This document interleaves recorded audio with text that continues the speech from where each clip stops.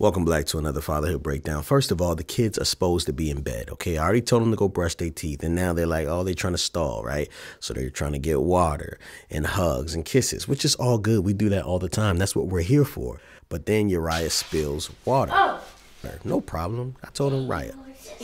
So, man, go ahead and clean up the water, but I go back and check, and it wasn't really done that well. So I told him, Go ahead, get a towel, put it up. I was doing this. I think I want you to have a breathing treatment. But in the okay? back, but now Let's go get a I'm being smart. now you got to use your listening ears. Listen to what I say. Rival, please come and finish drying off this countertop. I did what? Can I just give you? Who you calling boy? Who you calling boy?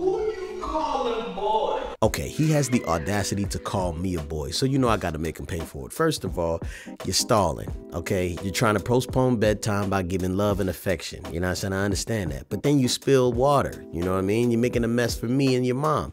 And then I'm just holding you accountable and telling you to clean it up, and you gonna call me a boy? Absolutely not. It's time for plank position. Do I look like a boy? That, that's terrible. That's terrible.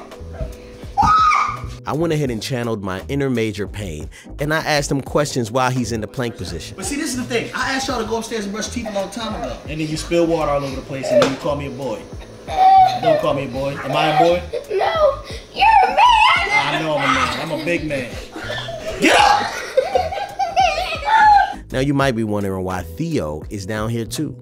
That's because he had a lot to say. Do I look like a boy? That, that's terrible. That's terrible. Theo, get out of here. No, no, no, never mind. Come over here. No, no, no. Ah, Plank position, since you want to get on my nerves now. Uriah called me a boy, that's strike one. Theo is antagonizing his brother, that's strike two. Strike three, it wasn't no strike three. I was just looking for anything else to make me upset. It's bedtime. Get upstairs and go to sleep.